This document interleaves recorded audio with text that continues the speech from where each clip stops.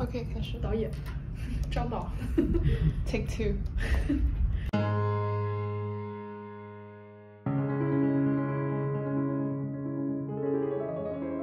OK，呃，欢迎大家来到我们的 One Percent Club。然后呢，这是我们的第一期节目。先来自我介绍一下，我是 Michelle。然后今天这边是我的同事，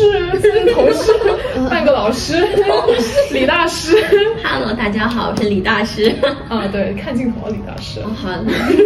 然后这是我们的特邀嘉宾，呃，曾家达教授。大家好。嗯，然后大家欢迎大家去关注曾老师的小红书账号，叫曾家达聊心理。好稀疏的掌声。OK，那么我们第一期节目要聊什么呢？就是其实我们在讨论选题的时候，是最近曾老师一直在讲的一个点啊，就是那个 Hell is other people，中文的话就是他人即地狱。曾老师最近经常说这个东西啊，所以就让我想起了就是萨特的这一个戏剧叫做《禁闭》，然后英文就叫 No Exit。啊，这个戏剧的话，呃。关于很多是关于像一些，比如说像自我啊，然后他人眼中的自我啊，我们如何处理我们跟别人的关系啊。然后今天刚开始录的时候，曾老师就问了一句，就说为什么我会选这样一个主题，对吧？这个戏剧的话，就是我我想讨论这个的话，就是说，首先一个，呃，我们如就是从这个戏剧中。看到的，比如说属于自己身上的一些疑惑的一些点呢，就像比如说我们为什么会去关注他人如何看待自我，然后呢，呃，为什么萨特说的地狱是三个人？这我觉得这些都是非常有意思的点。这样，我现在首先就是简单介绍一下戏剧它本身，然后给不太熟悉的小伙伴们一个大概的 overview。这个戏剧是这样的，就是说有三个灵魂。呃，他们死后进入了一个房间，然后这个房间里面就是这没有其他的东西，只有三个灵魂，然后还有一个一直不会灭的灯。嗯，这三个灵魂分别是一个男的叫 Garson 的灵魂，然后还有两个女性的灵魂，一个叫 Ines，一个是 Estella，然后嗯。这个戏剧开场呢，就是三个人坐在这个屋子里面，他们想讨论说，我们为什么会受到这样的审判？为什么我们就是遭到这样同等的待遇？因为就是在宗教里面，他们会认为说，你只有犯了就是同样的 level 的 sin，你会被放在同样一个就是有个呃死后的一个 treatment，会是同级别的。他们就开始说，就 OK，呃，我们应该去 review ourselves。呃，他们在 review 的过程中呢是这样的，Garson 他是一个呃，他是一个呃军人，就是在战争中，他其实就是被他的朋友、被他的同事所嘲笑说他是一个 coward，就是他是一个懦弱的人，因为在战争开始之前，他逃离了战争，然后说去到另外一个国家。呃，外界的评价对于他来说是说这个人是一个懦弱的人，但他自己对自己的说辞是说我是一个反战主义者，我希望去到另外一个国家，我希望去发表一些反战的言论。呃，至于另外两个人的话，一个是 Ines，Ines 是一个女同性恋，然后这个 Ines 呢，她去 seduce 这个这个表弟的妻子，然后呢，让把自己对于男性的这种恨意去。就是强加到他的身上。最后一个人呢是 Estella，Estella 是一个非常呃非常注重，就是说他自己在男人面前是一个什么样的 presentation 的一个人，就是他的所有的 value 自我价值都来源于异性对他的呃追求或者对他的认可。所以说在这部戏里面，这三个人其实就是非常呃互相对立，然后但是。呃，又互相希望从对方身上索取自己想要的东西的这样一个状态。就比如说这个呃，Garson，他这个这个逃兵啊，他觉得说外界对自己的评价是说我很懦弱，那我就需要另外一个人来，就是说同意认同说我是一个不懦弱的人。嗯，呃，然后 Ines 的话，他是非常有强烈的想要把自己的想法去 impose 到别人身上的这样一个人。嗯，就是说，比如说他在戏剧中的话，他就会跟呃 Estella 说，这男人都不是什么好东西。嗯，呃，然后呢，呃，Estella 他就希望获得男性的赞美。嗯，呃，所以说就是这里面有个 dynamics，就是说一个人他想从另外一个人身上获得一些东西，但是他却要遭受第三方的一个审视和呃，或者说就是。第三方对于他的一个批判，所以这个就是呃萨特所说的他人即地狱的这样一个故事。因为在 play 的最后，他们是说这个他们在一个房间里面嘛，然后他们就是说我真的受不了这样的那个呃待遇了，我觉得我宁愿上刀山下火海，我也不想再待在这个房间里。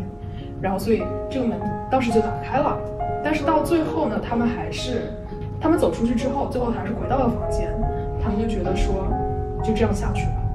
就这大概就是这样一个 play 的过程，整个 play 的过程都是他们在不断的阐述自己以前的经历。那么听完这个 play 之后，两位有什么高见吗？不能说是高见，我因为我之前没有细致的去看过这个戏剧或者话剧，但我听完你这个呃概述之后，我有一个问题，就是说他人即地狱这里面的他人是谁？老宗先说还是我先说？那你你知道这个这个啊？为什么我一直说那个自我也好，他人也好，这些概念呢？啊，我们要是认真处理的话，然后啊，整个我们对于这个剧本或是这个剧的理解呢，会有产生很多不同可能的解读。啊，由于你是 one percent club，就我就不怕，就是说一些可能比较太抽象的东西了。没事，这个这个内容我们就是只给 one percent 的人听，小于 one percent 可以听，对，小 one percent 可以听。那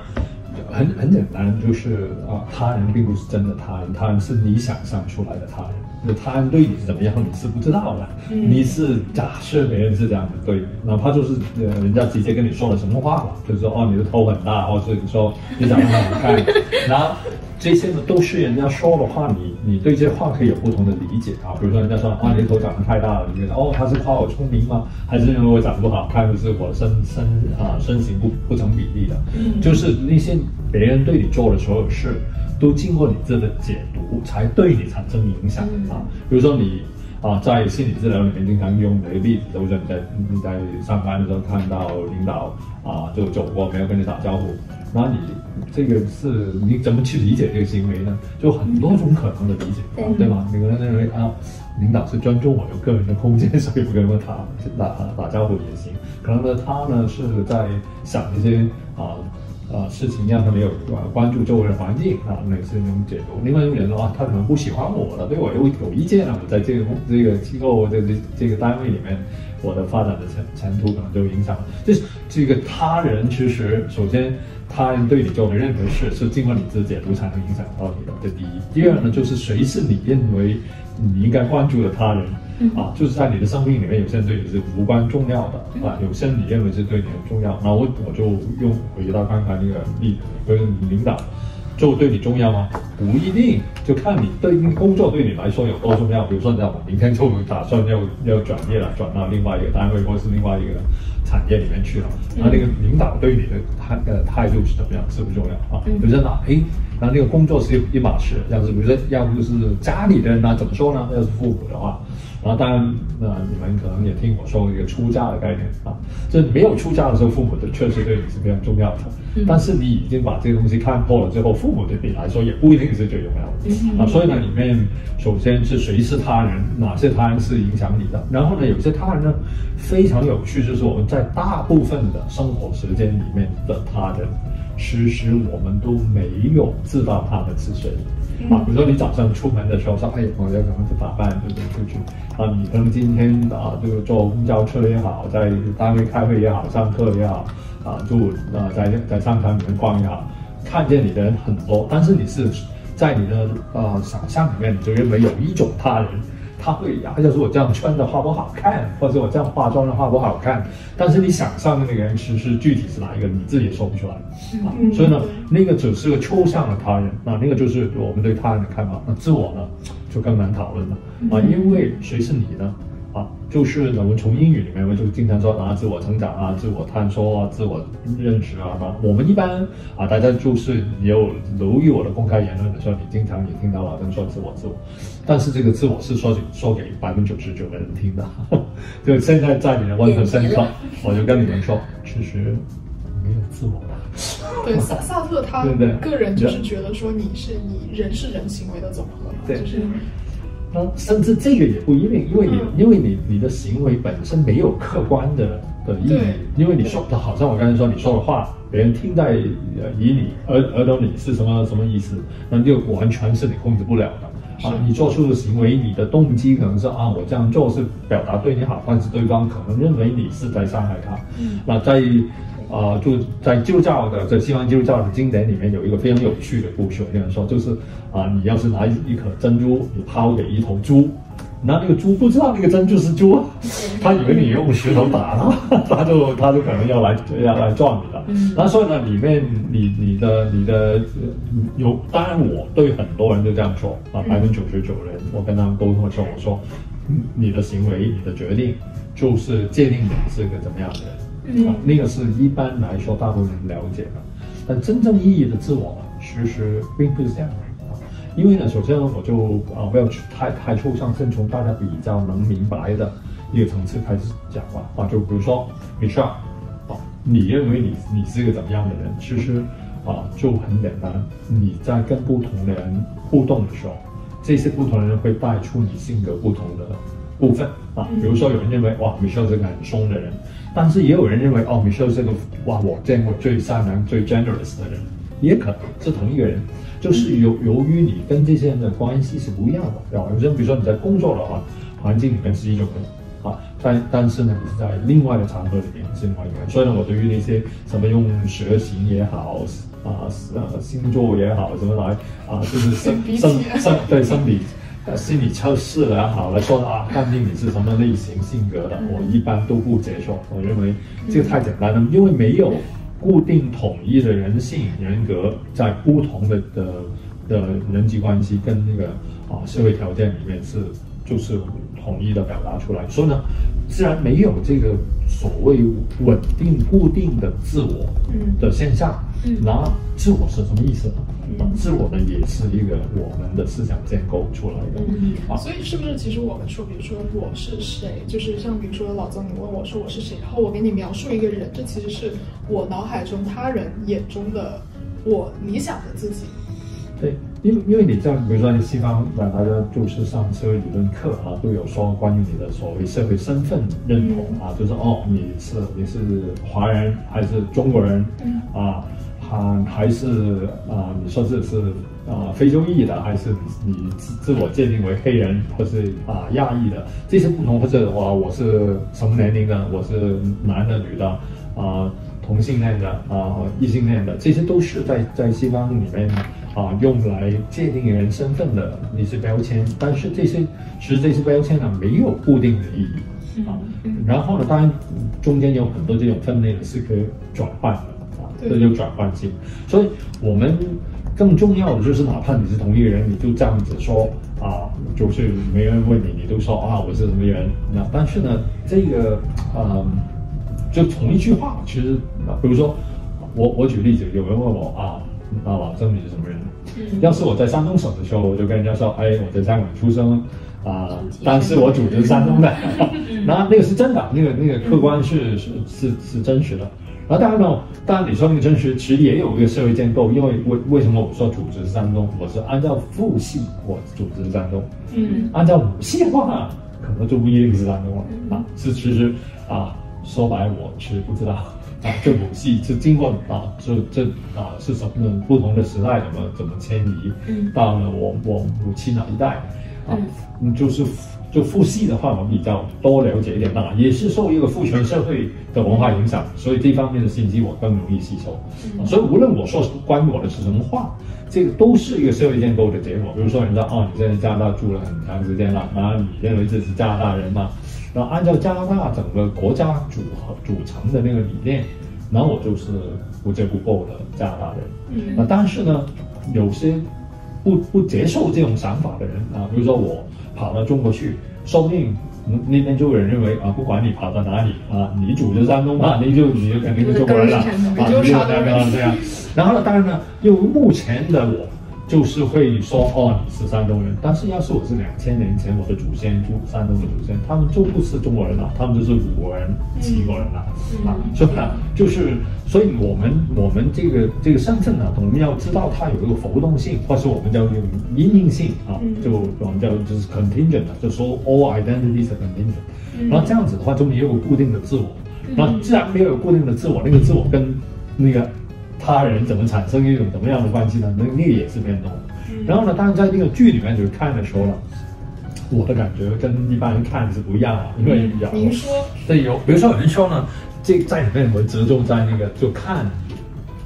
被看的啊，那个就是 the gaze，being gazed at 啊，或是呢就是 looking，或是是 being looked at 啊那种。那里面呢，当我们知道看这个。这个这个这个 gaze 啊，里面呢，它其实可以带有很多种的含义，在那个剧里面也有啊，比如说那个 g a s s 对那个 Style，就曾经有一段他的那种 gaze 带有情欲成分的啊，然后那个那种 gaze 就是跟我带这种判断成分的来看的话，是不同意义的啊。然后呢，那种看跟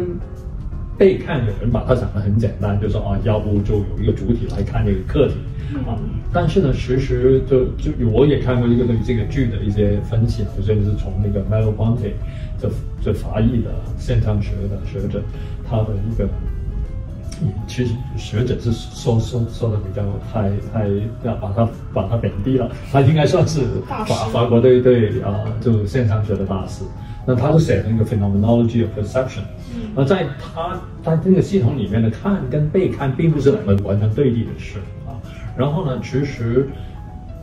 给看的人就是就是，其实，在现实生活里面呢，其实基本基本上就是我在看你，你在看我，然后大家都假设有另外的人怎么看我，啊，所以呢，那个第三者的的现象呢，就在这个剧里面表达出出来，但是呢。永远都有第三者以外的第三者，嗯嗯，这个剧的观众就是第三者，写那个剧评的人啊就是第三者。那么沙特写这个剧本的时候没有想象啊，这个剧出来的话，那些那些啊就是啊剧评人会怎么看啊，或者他的好朋友啊认识他人会怎么看？所以呢，这这些都是我们有是做经验的人都经验过，在你写的时候。你想不免会想象一下，谁来看我未来的读者是谁呢？或者我未来的观众是谁呢？好像我们现在这个 One Percent Club，我们在在聊聊的非常投入，啊，还是有有第三者啊，对不对？啊，第三，但是你发现我们到第三节停下来了，这三者以外的第三节还是第三者啊，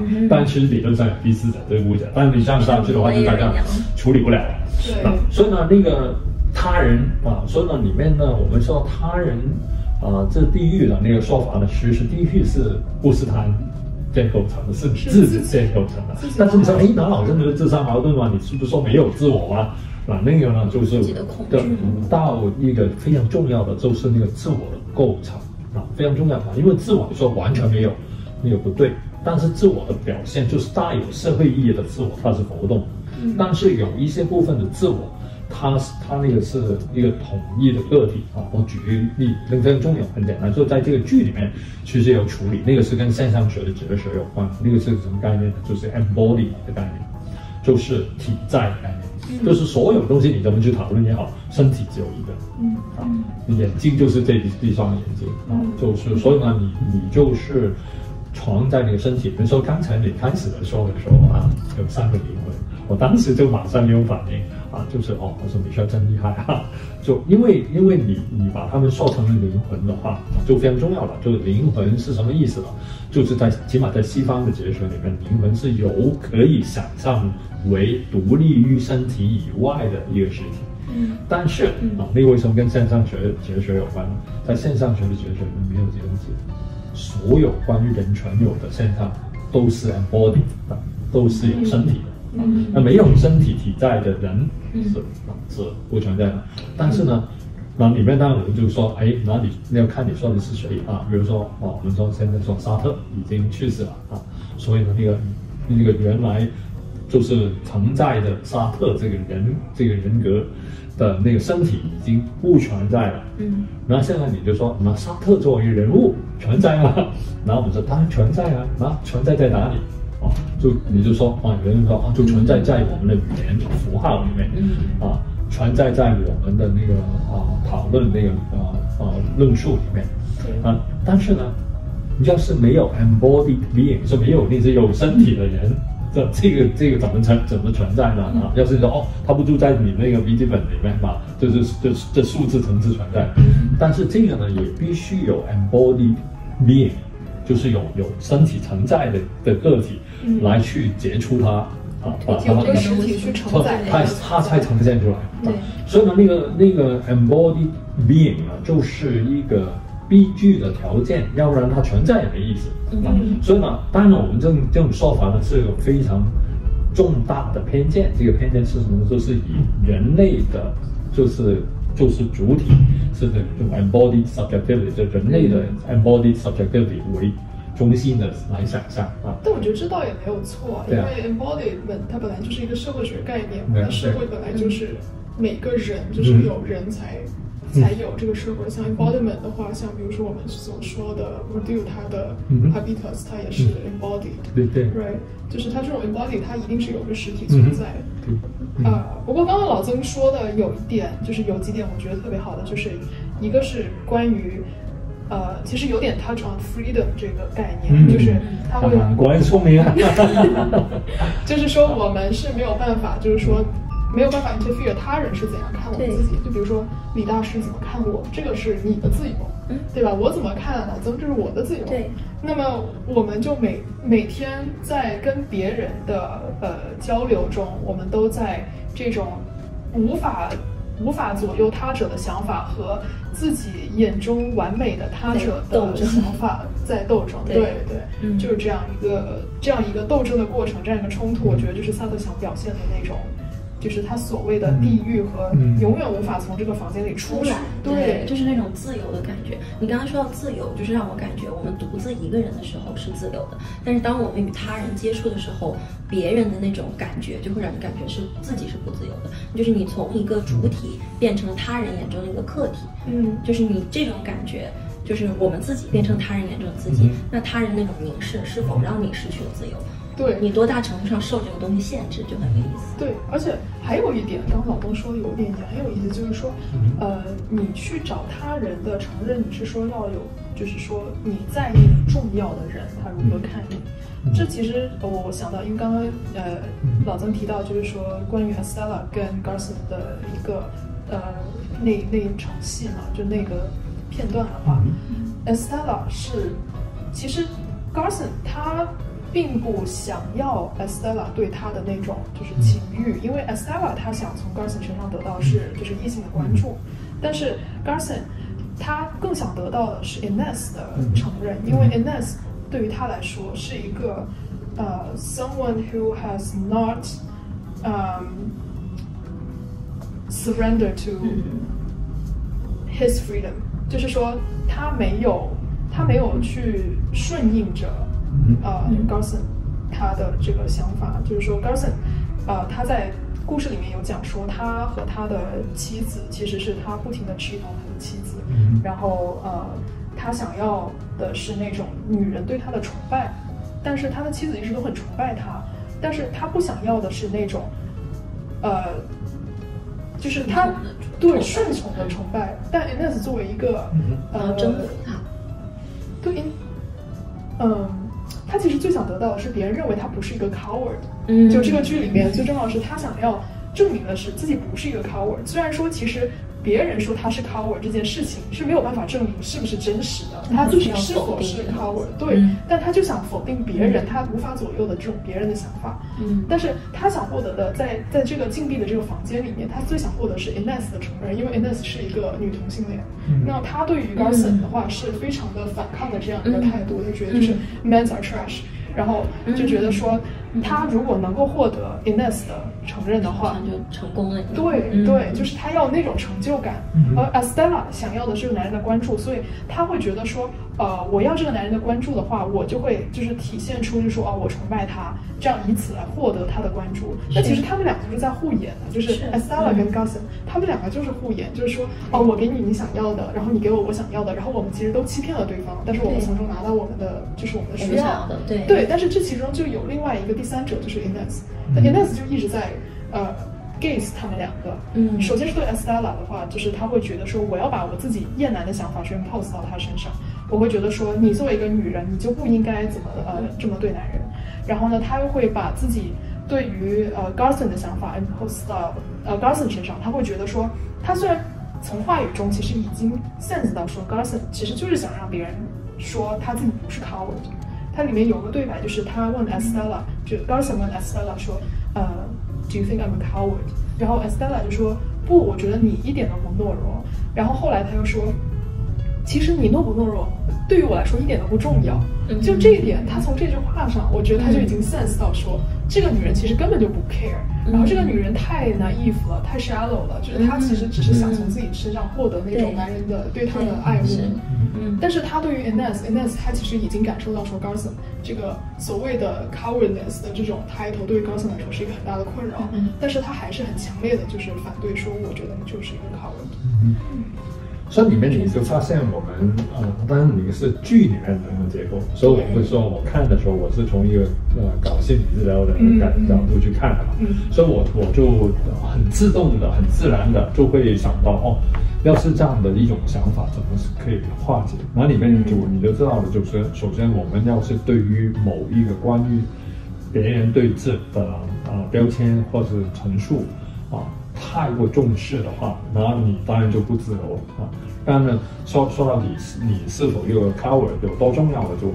对有些人来说很重要，对有些人来说并不重要啊。然后有些人对生命的或是自我价值的那个那个衡量的指标，跟那个是我是否那个啊勇敢有勇气的人，还是我是一个弱弱的人。有些人用这个结构，啊，你是真人的话呢，可能那个相对比较重要。但是呢，也有些从人从军的，我就从军就是我必须要做的事而已。我是一个勇敢的军人，或者说我觉得不重要。那最重要是我能做活着回来，然后就继续过了生活。也有这种军人的啊，所以呢，其实说到底是他自己的选择了，这个东西对他是重要的。但是我从心理治疗的角度就我就会问，这东西哪里来的？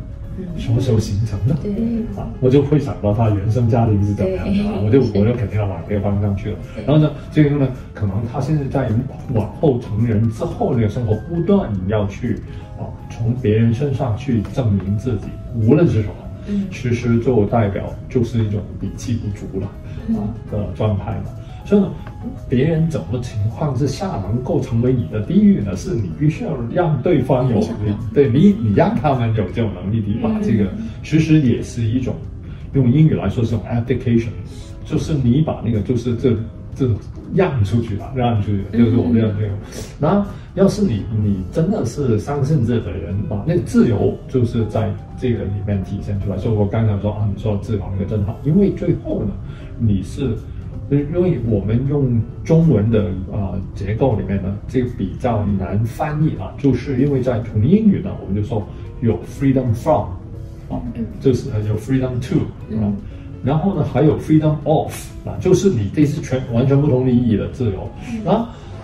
要是我们就首先第一个层次就是就 free from，就是你从那些就是限制你的、压抑你的，或是让你感觉不好的东西里面先解放出来，你是 free from。然后呢，你就可以进入一种就你有去做某些事情的自由啊。然后呢，但是呢，我叫 freedom to，很多时候只是代表一种可能性。嗯，When you free to，你有自由可以去做那事的话，有这个选择啊，并不代表你真一定会这样做。对啊啊，你可以选择做，所以所以选择就做最后呢，freedom is about choice，就是关都就是选择。那选择的可能性越多。那你就你的那个的自由越大，但那个就就进入社会学的领域了，就就回到那个 Max Weber 说的那个 life chances，就是你有多少选择的空间，有多少生活的机会。所以呢，你看这些人在他们就是陈述他们的的一生里面，其实他们就做出了很多的选择。然后呢，基本上里面有两个要关注的，就第一，就是 the choices that they actually made，就他真正已经选择，就那个故事里面出来。但是那故事没有告诉我们的这个 choices that they did not make，啊，就是你他们放弃了的什么机会，有什么可以。呃，就是可以成就的，可以去呃追寻的东西，他没有。那所以呢，当我们去想象一个人的生活的可能的话，其实能够这样去想象，其实它本身就是一种让我们可以活得更自由的一种条件。但是很多人呢就认为，哎，我面上就面前就两种选择了，啊，就很多时候呢，你的 you allow other people to frame your choices，就别人跟你说你有什么选择，啊，但是呢。要是你跳出那个框架的话，就是另外一种的，啊，就是海阔天空了啊。但是，但是大部分人啊不会这样，而且呢，都是一种回应式的，就是你我问你啊，我是否一个 cover，然后你怎么回答，然后呢，我就按照你就就是呢，你发现这对话里面就为什么是恐怖的？其实并不是因为那个屋没有出路啊啊，因为那个屋没有出路了。其实一开始那个剧一开始这班那已经跟他们说了，就是其实没有了，就外面就这样了。嗯那但是呢，关键的是我们是从哪里没有出路了？就是我们一级给别人的说话，别人别人建设出来的话语系统，不断把我们限制在那种。啊，就我们的想象空间，我们的生活可能性，就让让别人的说话，别人的话语把我们越来越框在一个就空间越来越小的地方，到了你真的感觉我就没有空间。那要是呢，你你发现你能够从这些话语系统里面、这些结构里面突破出来，啊，甚至自由了。啊，所以呢，基基本上那个就啊，那个是非常啊，就是。就佛家的那种说法，就转念之间，啊，就一转念之间，啊，你能转念之间你就出来了，啊，当然了，就是我们在西方看到很多那些就是很压抑的啊一种啊，就是很多的文学高手啊，哲学高手都给我们传递了从希腊的的悲剧结构里面，就是里面都有一个非常重要的，就是这些人都受某一种他们已经内化了的结构。啊就是来主导他的生活啊！这里从 Odyssey 那个故事开始就是这样的。那所以我们怎么样能够从里面出出来？就是要通过，就是要呃，就就中就就那中中国的佛教的一种观点呢，叫看破这东西嗯啊。那但是呢，你怎么去啊？说你看啊，就是看被看都是没有看破。嗯，看破了。就不管你怎么干，那那所以呢，那个所以呢，那个破是重要的啊。嗯嗯，这是另外一个维度的聪明的人。嗯，好。OK，开始。OK。刚才你的讨论就是让我想到一个问题：如果我们顺着这个自由的这个话题去讨论的话，你有没有想过，就是追求绝对的自由，找到绝对的自我的意义在哪里？其实我我个人我没有说完全说找到自我，就是这并不是我的一个终极目标。嗯，其实我我之前跟冉冉分享过很多次我的终极目标。我现在已经有三个名字了在这里面。李李大师分享我的终极目标，考你一下，你还记得吗？当然记得。嗯，知识啊，对，和选择。对，嗯，就是有尽可能多的知识和尽可能多的选择，对，这是我的终极目标。嗯，不过你刚刚说自我这个，我觉得也是非常重要的概念。我先怎么说回我这一点，就是我为什么会提问这个问题？嗯，我发现如果把这个问题问出来给别人，然后别人如果不是像你这样回答，他顺着我这个思路去说，然后那我自我的意义在哪里呢？他就会陷入到那个刚才你说的那种语境当中，然后我就会想跟这个人讲，我说你要得到哪些答案，你自己才会释然。嗯，通过他给我的这。的答案，我能看出来他最在意的是什么。然后我把这个答案问给我自己，我是这么回答的：我说我认为整个过程非常重要，我很在意与不同的人产生链接的这个过程，即使这里面有很多痛苦，但是我会从这些痛苦当中反思，在这个过程当中我经历过后，我就明白了自己要往哪个方向调整会更好。所以这让我突然间意识到，就是曾老师说的那个转念之间，那个自我解放的那个瞬间，就是我并没有再去限制自己在与人相处的过程当中，别人带给我的评价是什么。就不会再自证了。以前总是别人说，就是你是一个什么样的人，或者你做这件事情为了什么，我会去回答你的问题。但是现在我会去想他为什么问这个问题，然后我为什么要在意这个问题才是最重要的。就是你从通过去思考这个问题带给你的影响，你更能明白你真正追寻的是什么。所以我现在再去回想说，找到绝对的自我的意义在哪里？其实我不会觉得这件事情，嗯就是意义本身是有意义的，但是但是追寻这个意义的过程，反而是一种自由的体现。嗯，我我里面有一有有几个，呃，就是你们这样说的话，就带到另外一个更深的层次了啊。就刚才你们说到这个，就是最终极的的追寻嘛，就是知识也好，呃，选择也好，或是就是通过跟其他人的啊建立关系来呈现出种种的可能性也好。然后里面呢有一个非常重要的东西，就是从哲学的层次来讨论这个没问题。从现实的生活里面有一个非常重要的条件，这个条件是什么呢？就是我们其实应该说可能是所有人啊，但是也呃，我们没有把它说的太极端啊，就绝大多数人啊，其实没有别人是生活不下去的啊，那个是非常重要的一个一个现实啊。当然了，有有大家可能听说过有一个叫 Thoreau 的人，他写了一个叫 Walden。他这个人呢，就是跑到美国的一个一个就是就一个野外的地方去生活了，对对对。但是他没有一辈子住哪里啊，对吧？他出生的时候还是有父母照顾，他后来也回到啊，就社区里面生活，就是一段时间走出去，那个是可以想象的啊，甚至可以这样好了啊。但是你一辈子不需要别人，那个不大可能，因为你你我们现在就发现，由于他人的存在。是你生存的条件，啊，没有他你根本生存不下去，所以你必须要处理你跟所谓他人的关系。反正这个他人当然可以是一个抽象的，比如说我我到网上去网购啊，点外卖啊，可能没有一个真正的那个人需要是过将来可能送外卖的，不需要是快递的的的的小伙伴了，当然是机器人了啊。所以呢，但无论如何，这个这个所谓。他人啊是怎么样的啊？你是需要，那个很重要，你是需要他，你才能生存。所以呢，我们要是说到太过理想化的说啊，你别人就可以不管了，你转念即见你的自由了。嗯，那个从理论上是这样说，但是我看了这种生活的话，我就发现呢，其实我们是在做一种什么事呢？就是要是我比较能够独立于。啊，比如说你们两位的话，嗯，然后其实呢，就在我们的互动里面就出现那个谁需要谁更多的问题了，嗯，啊，那那个是非常非常现实的啊，就是比如说我没有你们俩，我活得很好，然后我就可以说，哎，我就不管他们怎么看待我了，对吗？但是要反过来，你们认为，哎，要是老郑对我有意见，啊，就不喜欢我的话，会 直接影响到我有些需要不能得到满足的话，你要是对，要是你在这种状态的话，你要哦，我要完全排除。就是老郑对我的影响哈，就相对没有那么容易。反过来也一样，要是比如说你们两位现在做这件事，可能就是我啊，这交房租吃饭的经济来源的话，那我就不能够那么潇洒的说，哎，我就不管他的影响了，对吧？啊，但但是呢，那个那个那个其实里面就非常重要的这个他人，就是你什么程度上依靠他人，然后里面那个是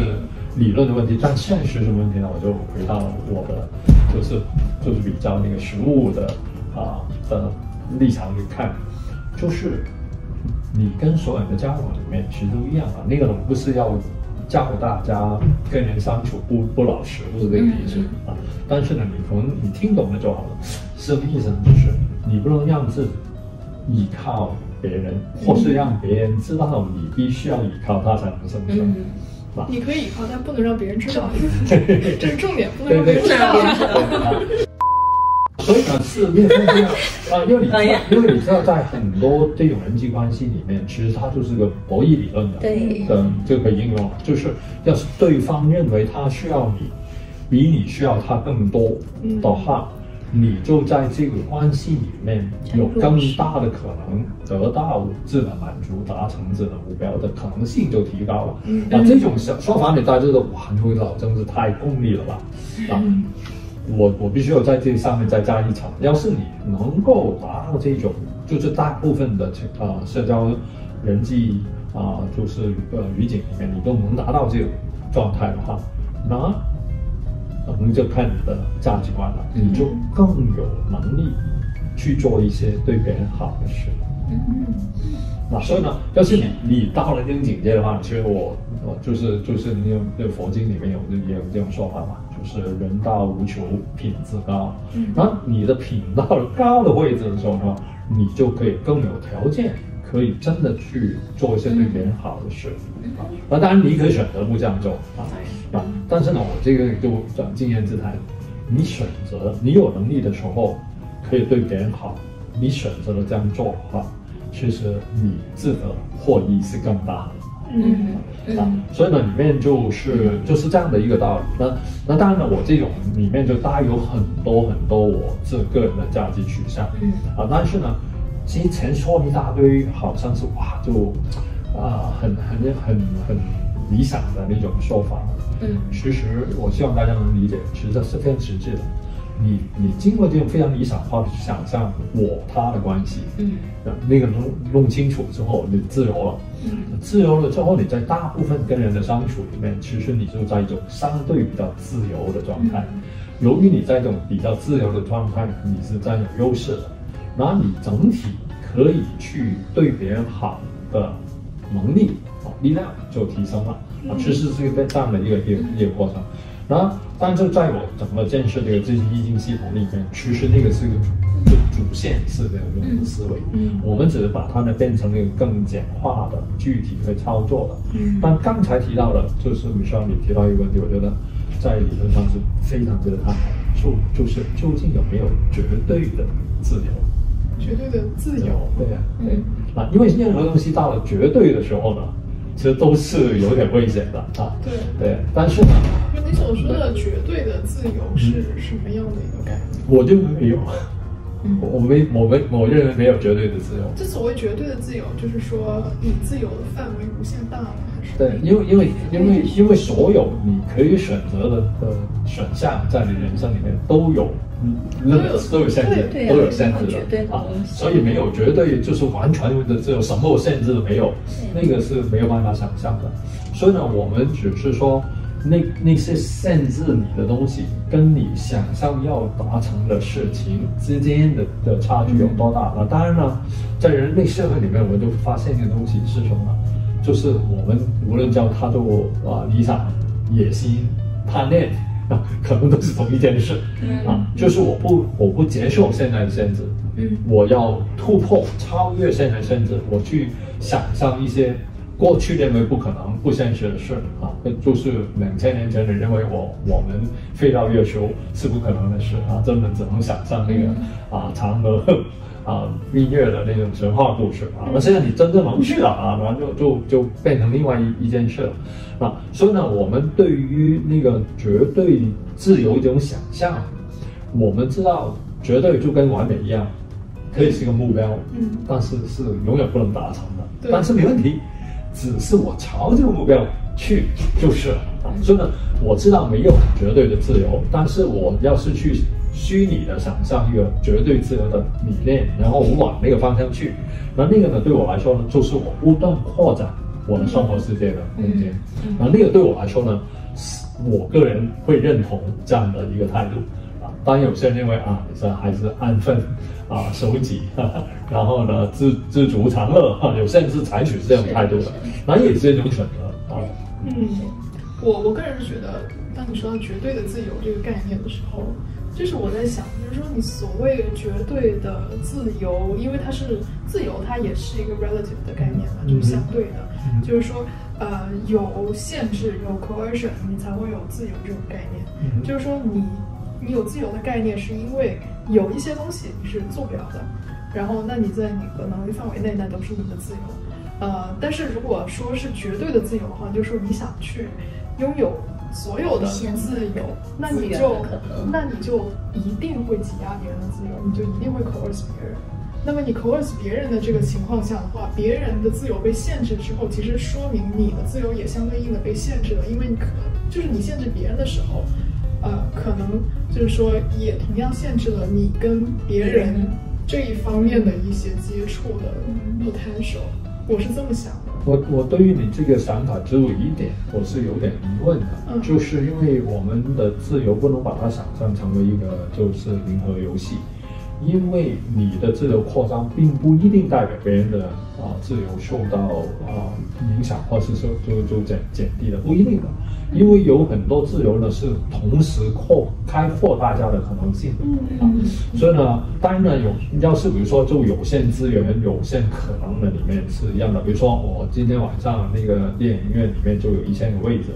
那你有自由去看电影，但那我们有一千人进场买了票，实行了自由之后，第一千零一个人到了电影院，他就买不到票。就在这种情况之下，你刚才那个说法是成立的。嗯但是也有很多事呢，并不是我做了，我实现了我的自由之后，就一定要非必要影响到别人的自由不可。我觉得不一定是所有东西都这样啊，就有些东西是零和游戏。我我举个例子，那个就是我我一直都为什么要提出那种就是啊开放关系啊，那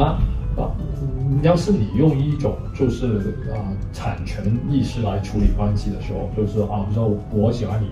然后呢，啊，你就是变成属于我了，你去喜欢别人的话，那就成为我对我的伤害啊。所以呢，你去实行你的自由的时候，就好像对我的利益有影响。但是呢，客观来说，你去建立其他关系是没有影响我的自由的。嗯啊，我要感觉到受伤害是我活该，我我我我刚啊，就是我喜欢你，你就不能喜欢别人了。所以呢，你去喜欢别人的时候，我就受伤害。这个这个这个之所以可能是由于我内化了一种把你当成一个是拥有的对象的那种想法，那个才能发生啊。所以呢，要是我们大家都认为哦，你自由去选择，你你可以在你的生活里面享受的更更多啊，就是好啊良好的关系，然后你在这关系里面得到满足，然后自我提升成长，就大家都可以这样做的话，其实我的自由跟你的自由是个同时增长的。啊，那个是，